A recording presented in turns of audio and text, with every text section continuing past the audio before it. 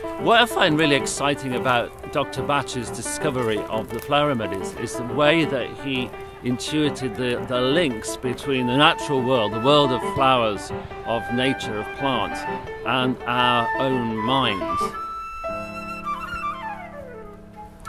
Edward Bach was a doctor in the 1930s who discovered an amazing connection between the physical world of plants and flowers and um, the state of the human mind. This uh, system became known as the Bach Flower Remedies. The Musical Remedies project is really something that found me rather than me setting out to do.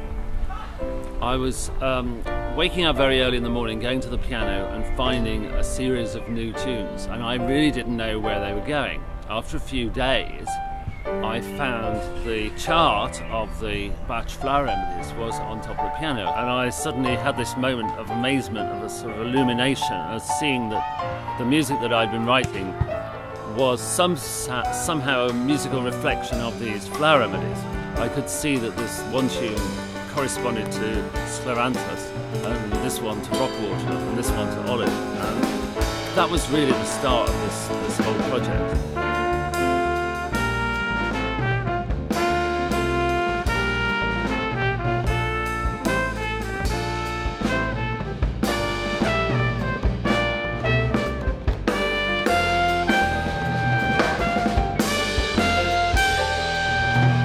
Had this initial series of, of, tunes, I think there were nine, and I'd got just the uh, le lead sheets, the, the melodies and the chords.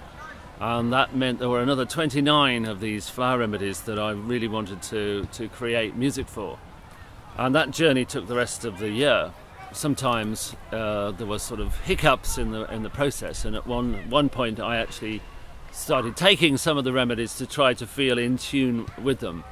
Um, but by the end of that year, uh, 2004, I had all 38 pieces of music in outline.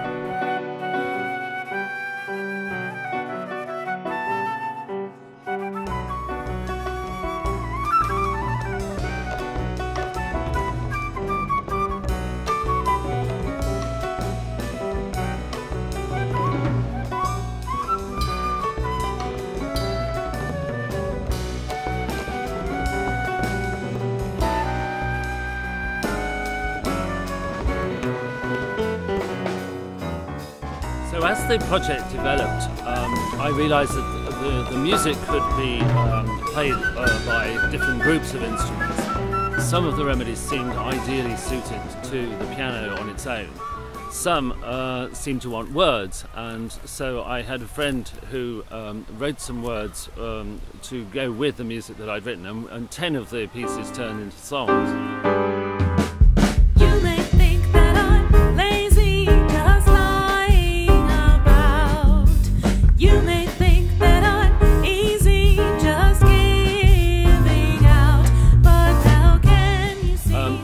Sounded really good with flute, some with saxophone, some with trumpet, and most recently a couple with violin.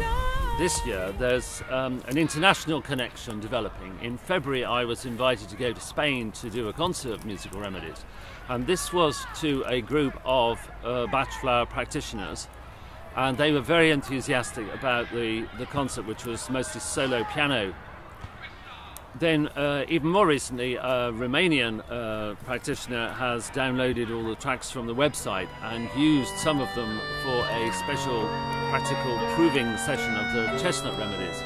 And she said to me that the uh, session was magic, that the uh, people really related to the music in relation to their experience of taking the remedies. So, this is all really exciting.